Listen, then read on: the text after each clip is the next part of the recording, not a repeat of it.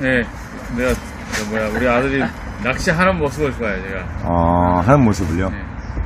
야, 이 나이에 낚시하기가 쉽지 않은데, 어렸을 때부터 좋아했어요. 어렸을 때부터 어, 깊이가 있구나, 뭔가.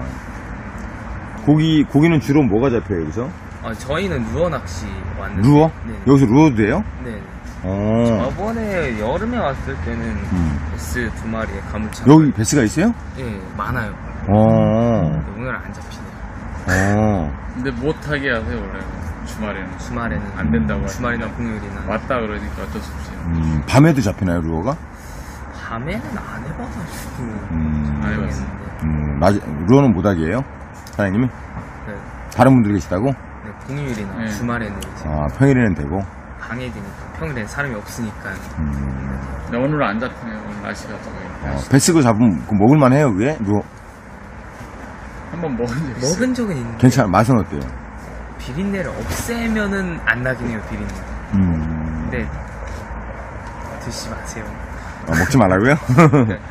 요리 잘해야 될 것 같아요. 요리를 음, 잘해야 될것 잘하면- 같지. 잘하면 이렇게 되겠는데 그게 원래 외래오정인데, 식용으로 우리나라 배고픈 시절에 박정희 대통령이 이거 들여왔죠? 고기라도 먹으라고. 그런 어종 같은데. 단백질 보충. 단백질 보충하라고. 근데 여기 뭐 기- 육식 어종인데 이게 다 잡아먹지 않나요? 다른 것들? 우리 그래가지고 여기 낚시 배려버렸어요? 제 낚시점에서 여기를 추천을 해주셨는데 음.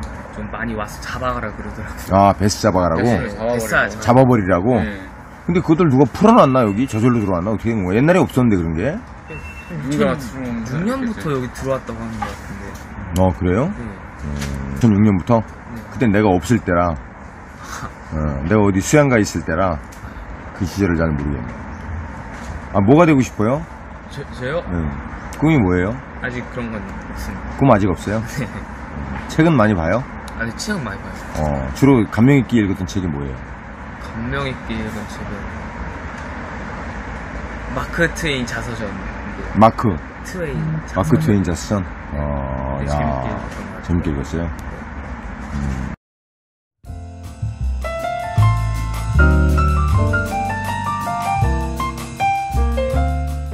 아드님이 그냥 아주, 예? 생각이 꽉 차신 것 같아요. 중2 때 저는 이런 생각을 못 했거든. 예, 중2 때 맨 남의 밭으로 소리 나가고, 예? 뭐 수박 소리 가고, 뭐, 뭐, 산으로 들로 전쟁, 전쟁, 그때 있잖아, 전쟁 드라마 있었잖아요. 나시찬이 나오는 거. 그 총싸움이나 해대고, 지금, 지금으로 치면 서바이벌 같은 건데, 아, 그런 거나 하고 놀러 다녔지, 책을 뭐, 진짜, 책은 저게 다, 른 나라 사람들이 읽는 건가 보다 이렇게 생각했었는데, 예, 내가 잠깐 수양을 할 시기가 있었어요. 수양을 할 시기가 있어서, 혼자 암자에서 한 15년 정도 혼자 수행하면서, 예, 그때 좀, 예, 아, 책 속에 길이 있구나를 깨달아서, 한때는 이 세상의 모든 책을 다 섭렵해 버리려고 하는 야심찬 계획도 있었을 정도로 예. 그리고 저는 여기 광명 사거리라는 여기 조직폭력배 두목 출신이에요. 이제 손을 씻었고 어, 내꼭이 기록 보면 이제 다 나오는데 그래서 이제 좋은 일 하려고 좋은 일 좀 하면서 내 과거 경험을. 왜 이렇게 얼음땡이 됐어요 근데? 멋있네요. 내 기록 보면 거기 한번 봐봐요 쭉. 보면 도움될 것도 있고 그럴 거예요. 나같이 살면 안 된다고. 어, 애초에 내가 어, 이 학생처럼 책을 접했고 마크헌트 그런 분들을 자수전을 만났다면 내가 이 길로 오지 않았겠지. 예, 이 길로 오지 않았는데 그런 것들을 접할 기회가 없었고 몰라서 어, 중딩 이거라 그러는데 중딩 여기 이거래 나오지 여기 댓글 나오시죠 아버님 중딩 이거라고 음. 훌륭한 아드님을 두셨대요 아버님 응원한대요 네. 가- 어디 다닌다고 학교는? 학교 친구가 저 뭐야 일반 학교 아닌 대안학교? 대안학교. 네. 어디? 어 이것도 내가 또 이게 제가 꿈이 지금 대안학교거든요 아, 어디? 발도르프 학교라고 발도르프 학교 들어본 것 같아 이게 어디 있는 거지? 그 독일에서 이제 시작이 돼가지고 독일? 네. 어 지금 여기는 어디 어디 있어? 여기는 부천에 하나 있는데 지금 어디 다녀? 전 부천 부천 거기는 학생이 얼마나 돼? 어 내가 가만 있어봐 부천이라고 하면 안 되지 부천에도 그거 있잖아 아 물어보요?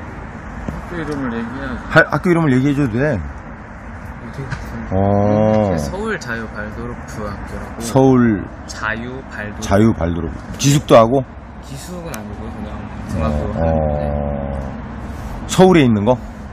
서울에 있다가 어, 부천으로 이사를 왔어요.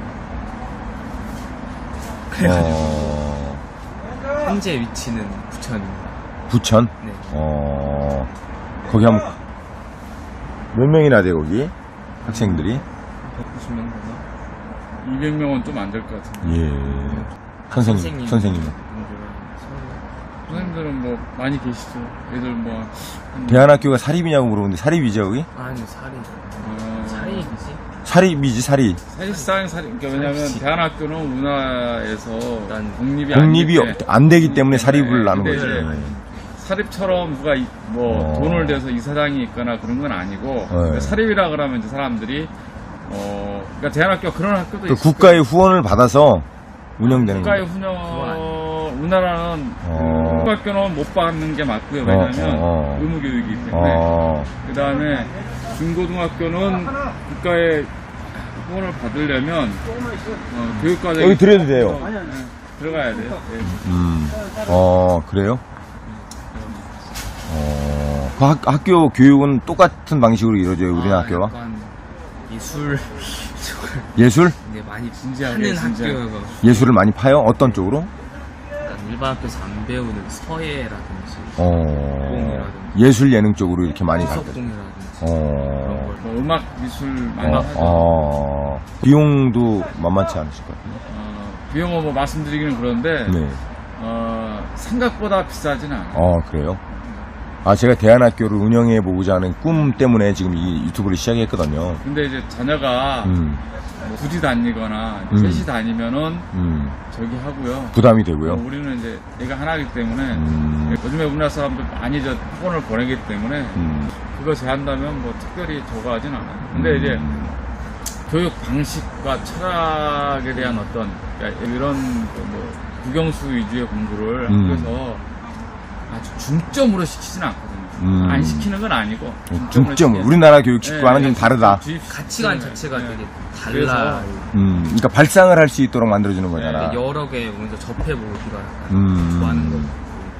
왜냐하면 찾아봐. 공부를 하려면 애들이 공부할 수 있는 음, 예, 예를 들면 어, 그쪽에서 말한 건 아닐 수도 있지만 이제 그 어. 발달밖에 말한 건 아니지만 애가 좀뭐 이를테면은 사랑이나 우정의 뜻을 알아야 어, 어. 낱말을 가리키는 거예요. 어, 그렇죠, 그렇죠. 근데 이제 글을 빨리 가르치게 하기 위해서 어. 우정을 가르치고 사랑을 가르쳤는데 어, 글씨는 아는데 뜻을 몰라. 아, 그렇다면은 이제 꼭 그때 애기들이 배워야 될 필요가 있는가 하는 어, 어. 너무 진지하게 그렸습니다. 우리가. 아니, 아닙니다, 아닙니다. 재밌게 아유, 재밌게 아유, 하겠는데? 정말, 재밌게 정말 네, 좋은. 재밌게 해야 되는데.